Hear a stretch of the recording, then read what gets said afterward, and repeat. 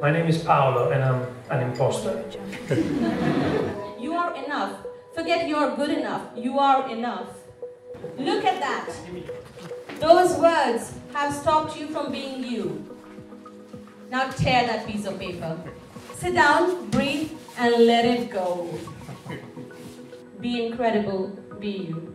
Imposter syndrome is the, is the gap between your capability and how you see yourself.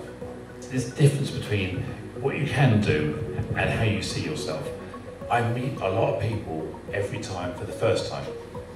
So I always have this belief that I'm not good enough as a, as a speaker and as a woman. Every time that I feel it, it almost inspires me. It was an uncomfortable environment because I didn't see anybody else who looked like me.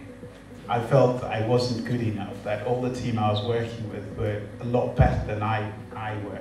Very often when you have the imposter syndrome, what you're trying to do is just survive the experience.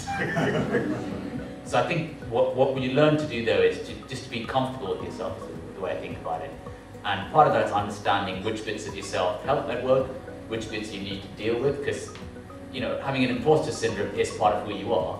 A lot of people mask and cover based on their personality type, and that, that is all blended in with introversion and extroversion, ambiversion. Whenever you kind of listen to one voice saying that you're not good enough, uh, create a positive voice in your head and encourage your positive voice to speak louder. Since I became my authentic self, it's kind of a superpower. Need to be able to be vulnerable and for someone to be able to listen to you so you can just pour it out but you also need someone to encourage you. One of the big problems that men struggle to show vulnerability. So it means that often they don't have an opportunity to just upload, say, look, you know, I'm struggling. I think that's why it's important uh, for companies to create a corporate culture that actually allows people to be authentic self.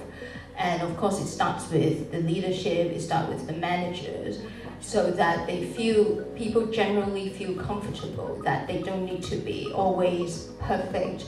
To have clients like eBay who genuinely support and looking at ways that they can better improve um, the environment for their work workforce and to create a, a much more inclusive um, environment for their for their team is, is amazing. So thank you so much for allowing us to be part of your I've been on lots of panels uh, over the years, and that certainly was kind of a level of depth and truth in the conversation that I've not heard in this kind of what can be a very business-like environment. So thank you for your honesty and thank you for your excellent questions. I'm somebody that also experiences imposter syndrome. You know, it's been amazing to hear all the insights from everybody. But you know, what I've taken away from this is we're not on in this journey alone. That we all experience it and it's been lovely to hear everybody kind of opening up and being very vulnerable and sharing stories and asking questions. So hopefully, like me, you've all got some insights and things that you can help to overcome that.